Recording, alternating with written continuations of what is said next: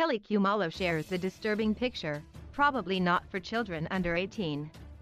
If we are to mention two brave women who are famous we would mention Kelly Khumalo and Khanyi Mbau. These two are never shaken and always stand firm in the midst of criticism. They are bold enough to do what they want, despite what people think of them. Kelly is known for always being the drama queen.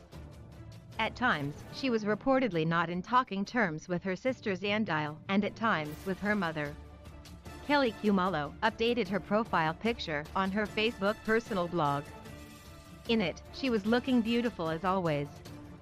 Wearing nice clothes, but the pose was a something that did not look proper. She opened her legs wide.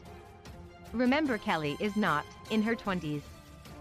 She will be turning 40 soon, and she should be focusing on learning self-respect.